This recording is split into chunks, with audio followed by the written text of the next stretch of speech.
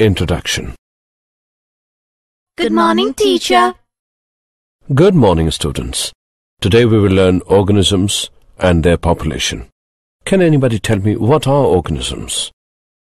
Sir, organisms are the living things that are capable of reacting to stimuli, reproduction, growth, and homeostasis.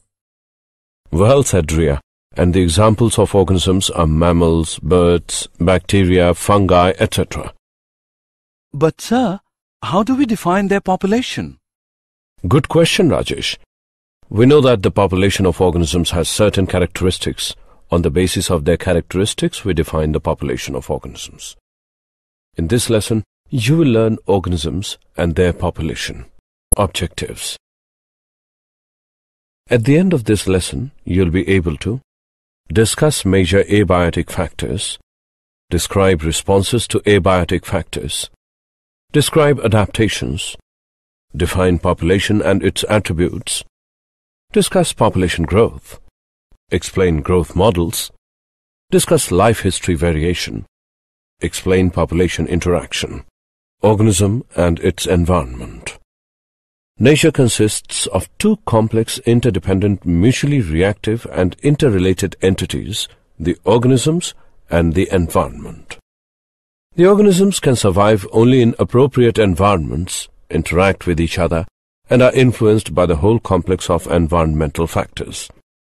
Ecology is the branch of biology that deals with the study of interactions between organisms and environment. A biome is a major ecological community of organisms adapted to a particular climatic or environmental condition on a large geographic area in which they occur. Habitat is defined as a place where an organisms or a biological population normally lives or occur. Major abiotic factors. The term abiotic refers to the non-living or physical components of an ecosystem. These are temperature, water, light, soil. Temperature.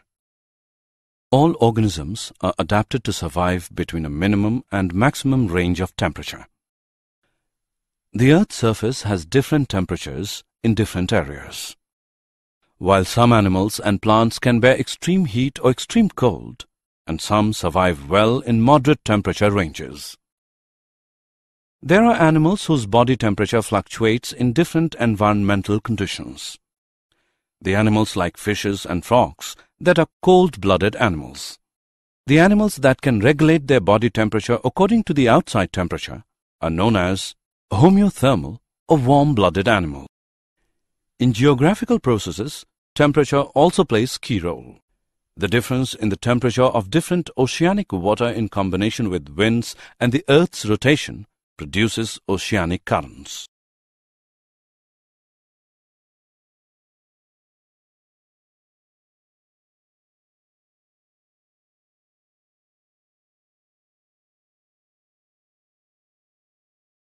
Water. Water is an abiotic factor of ecosystem. All the living things need water. Water is essential to life on earth.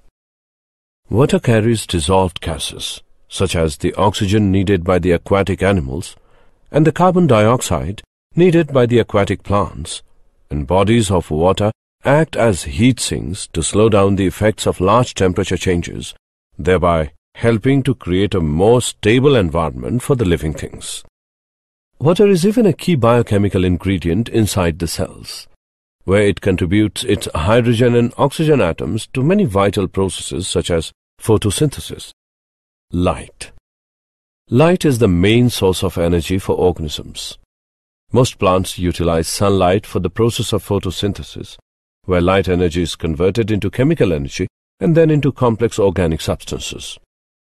Light is also essential to other biological processes such as flowering in plants, sight in animals, and the migration of birds. The production of food and oxygen both depend on light. Plants as food source indirectly transfer the energy to animals. The intensity of light affects animals such as their skin color, sensitivity, sight, etc.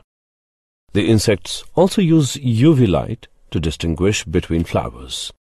Soil Soil is the basic medium for most land-based ecosystems. Soil is a complex and varied substance. Soil plays an important role in the nitrogen cycle because it is the site of both nitrogen fixation and denitrification.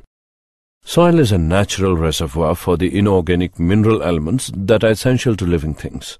Elements like iron, zinc, calcium, and phosphorus.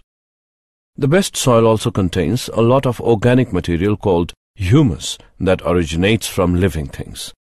Soil rich in humus support abundant plant life. Responses to abiotic factors. The process by which organisms maintain relatively constant internal environment under varying external conditions is called homeostasis.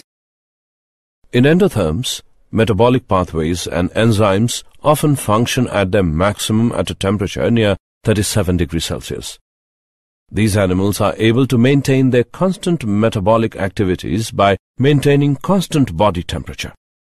This is achieved through evaporation of water from their bodies during summer and by insulating action of fur, feather, subcutaneous layer of fat, etc. during cold weather of winters. Thus, endotherms are able to remain active even under cold conditions by exhibiting different types of adaptations to minimize the loss of heat. Regulate. Many organisms are capable of maintaining homeostasis by the physiological activities and it ensures constant body temperature, constant osmotic concentration, etc. Most mammals control body temperature via a gland in the brain called the hypothalamus. The thermoregulatory center in this gland regulates heat loss and production. This center is influenced by nerve impulses from receptors near the skin and the temperature of the blood flowing through it. Conform. Animals or plants that allow some conditions within their bodies to vary with external changes are called conformers. Most of the animals and nearly all plants cannot maintain a constant internal environment. Their body temperature changes with the ambient temperature. The osmotic concentration of body fluids of aquatic animals changes with those of the ambient water or osmotic concentrations. Such animals are called osmoconformers. Thermoregulation is an energy-expensive process. Heat loss or gain is a function of surface area and hence small animals are not found in polar regions. Migrate. By this mechanism, the organisms can move away temporarily from the stressful conditions in the habitat to another habitat with hospitable conditions. The whale that migrates the longest is the grey whale, which migrates about 12,500 miles. The insect that migrates the longest is the desert locust, which travels about 2,800 miles suspend. Those organisms which cannot migrate suspend their metabolic functions during the stressful period and resume their functions at the return of their favorable conditions. Hibernation in frogs and certain reptiles, polar bears, and aestivation in some snails and fish are examples of suspension. Adaptations The adjustment or changes in behavior, physiology, and structure of an organism to become more suited to an environment is called adaptation. Some of the adaptations. The most important is the habit of living together in communal or family groups. Animals can derive a lot of benefit from spending time with other members of the same species. They can help each other find food, defend against predators, and care for young. Several animal species, including scorpionfish and leaf frogs, can change their appearance to match their surroundings. Desert plant adaptations. Desert plant adaptations. Some plants, called succulents, store water in their stems or leaves. Some plants have no leaves or small seasonal leaves that only grow after it rains. The lack of leaves helps reduce water loss during photosynthesis. Long root systems spread out wide or go deep into the ground to absorb water. Some plants have a short life cycle, germinating in response to rain, growing, flowering, and dying within one year. Tropical rainforest adaptations. Tropical rainforest. Some plants climb on others to reach the sunlight. Some plants grow on other plants to reach the sunlight.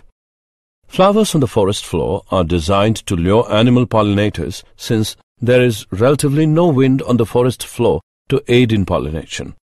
Smooth bark and smooth or waxy flowers speed the runoff of water.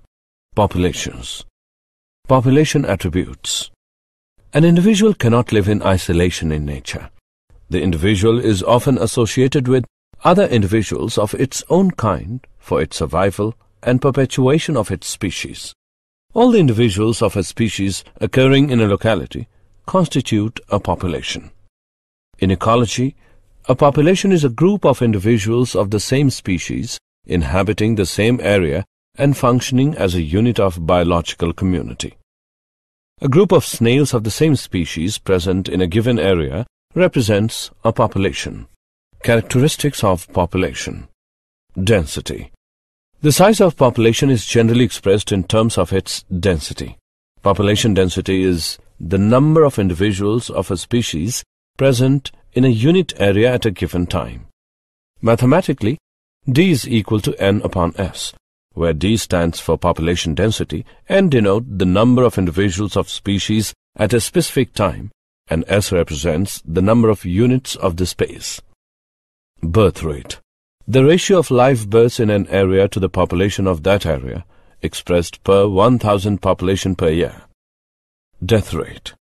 Death rate can also be tabulated according to age or cause. The ratio of deaths in an area to the population of that area expressed per 1000 per year. Sex ratio. The proportion of males to females in a given population, usually expressed as the number of males per 100 females. Population growth. The size of population is not a constant parameter, but it keeps on changing with time, as it depends upon various factors such as climatic changes, food availability, etc. The four major processes which play key role in changing the density of population of a particular area are natality, the birth rate, which is the ratio of total live births to total population in a particular area over a specified period of time. It is denoted by B. Mortality. It is defined as the ratio of the total number of deaths to the total population. It is denoted by D.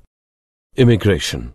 When the peoples or animals moving and settling in a country to which they are not native, it is denoted by I. Emigration. It refers to one-way outward movement of individuals from the local population. It results in decrease in population. It is denoted by E. If n is the population density at time t, then its density at time t plus 1 is nt plus 1, which equals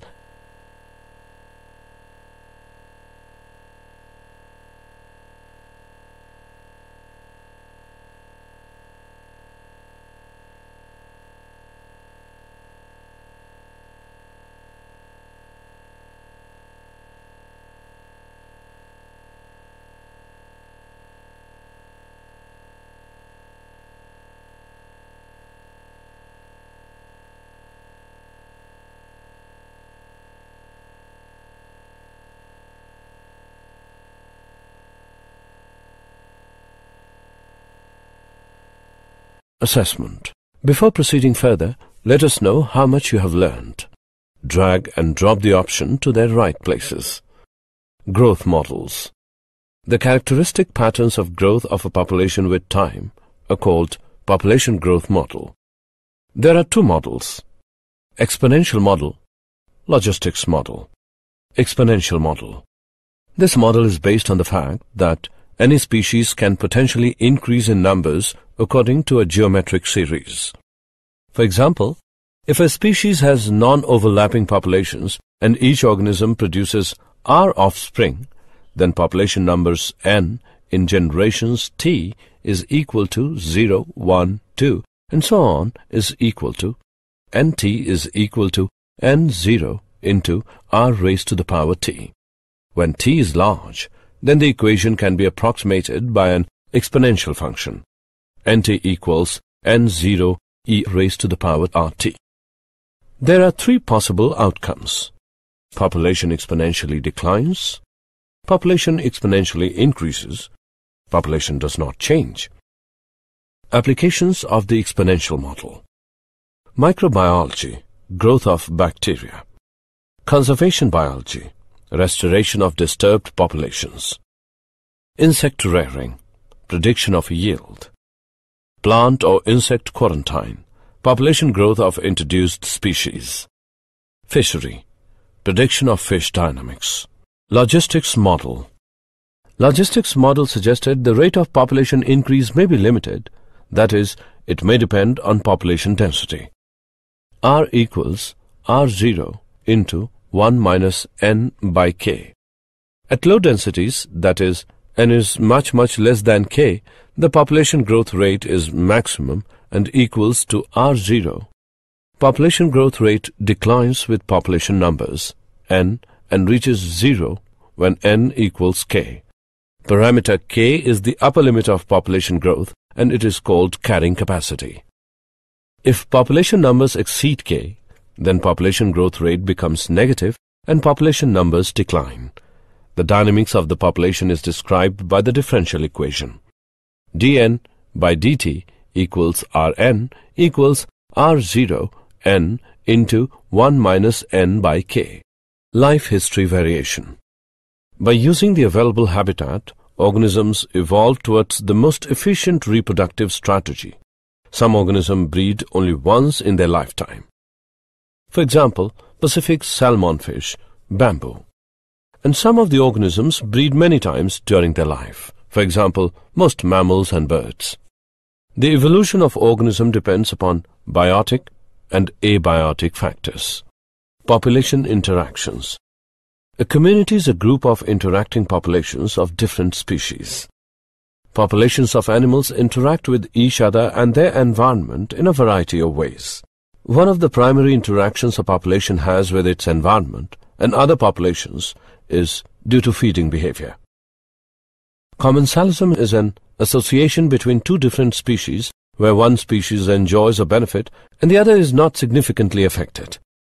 Amensalism is an association between two organisms of different species where one species is inhibited or killed and the other is unaffected. The characteristics of interaction among species are predation, competition, parasitism, commensalism, mutualism, predation. A form of symbiotic relationship between two organisms of unlike species in which one of them acts as predator that captures and feeds on the other organism that serves as the prey. Predation is a process of major importance in influencing the distribution, abundance, and diversity of species in ecological communities. Successful predation increases the population size of the predator and decreases population size of the prey. These effects on the prey population indirectly changing the abundances of other species. One example of such indirect effects of predation involves the trophic cascade. A trophic cascade occurs when the effects of predation cascade down the food chain to affect plants or other species that are not directly eaten by the predator. Predation can either increase or decrease the number of species that coexist in a community depending on the favorability of the environment and on the competitive status of the preferred prey species. Competition Competition is the conflict between organisms for a limited essential resource. Interspecific competition occurs when organisms of the same species use the same resource at the same time. Interspecific competition occurs when organisms of different species use the same resource at the same time. Competitive exclusion occurs when one species is better at attaining a resource than another species such that over time the poorer competitor may disappear entirely from the community. Resource partitioning occurs when the two species begin using the resources differently such that both are able to coexist. Parasitism In parasitism, an individual organism, the parasite, consumes nutrients from its host, resulting in a decrease in health to the host. In extreme cases, parasites can cause disease in the host organism. In that case, they are considered as pathogens. We divide parasites into two categories. Endoparasites, the organisms which live inside the body of their hosts. Examples of endoparasites include flukes, tapeworms, fungi, bacteria, and protozoa. Ectoparasites. The organism which live and feed on the outside of the body of their host. Ectoparasites include ticks and lice, plants, protozoa, bacteria, and fungi. Plants and animals typically act as hosts. Parasite transmission. For all parasites, the host exists as an island of habitat. But the island lives for a finite period of time and the parasites must find a new host before the existing one dies. Transmission to a new host can happen either directly or through a vector. In direct transmission, the parasite moves from one host to another of the same species without an intermediate organism. In vector transmission, an intermediate organism, the vector, transfers the parasite from one host to the next. Commensalism Commensalism is a relationship between two organisms where one organism benefits and the other is unaffected. For example, the pearlfish uses the sea cucumber for a hideout for predators. The pearlfish will live in the sea cucumber's anus, backing into the hole tail first so its head can stick out. When a predator of the pearlfish comes near, it will bring its head in so it can't be detected. The sea cucumber is unaffected by this activity. Mutualism Mutualism is the association between organisms of two different species in which each is benefited. Mutualistic arrangements are most likely to develop between organisms with widely differing living requirements. The partnership between nitrogen-fixing bacteria and leguminous plants is an example, as is the association between cows and rumen bacteria. The bacteria live in the digestive tract and help digest the plants eaten by the cow. The associations between tree roots and certain fungi are often mutualistic. Did you know? Fungi are necessary to create balance between the different components of the ecosystem and guarantee the stability and continuity of life. Some fungi secrete enzymes and acids that help to treat diseases such as the penicillium fungus, which produces the antibiotic penicillin. Summary let us summarize what we have learned. Nature consists of two complex, interdependent, mutually reactive and interrelated entities, the organisms and the environment. The term abiotic refers to the non-living or physical components of an ecosystem. The process by which organisms maintain relatively constant internal environment under varying external conditions is called homeostasis. Animals or plants that allow some conditions within their bodies to vary with external changes are called conformers. Migration is the mechanism through which organisms can move away temporarily from the stressful conditions in the habitat to another habitat with hospitable conditions. Hibernation in frogs and certain reptiles, polar bears, and aestivation in some snails and fish are examples of suspension. The adjustment or changes in behavior physiology and structure of an organism to become more suited to an environment is called adaptation. All the individuals of a species occurring in a locality constitute a population. Processes which play a key role in changing the density of a population are natality, mortality, immigration, and emigration. The characteristics of interaction among species are predation, competition, parasitism, commensalism and mutualism.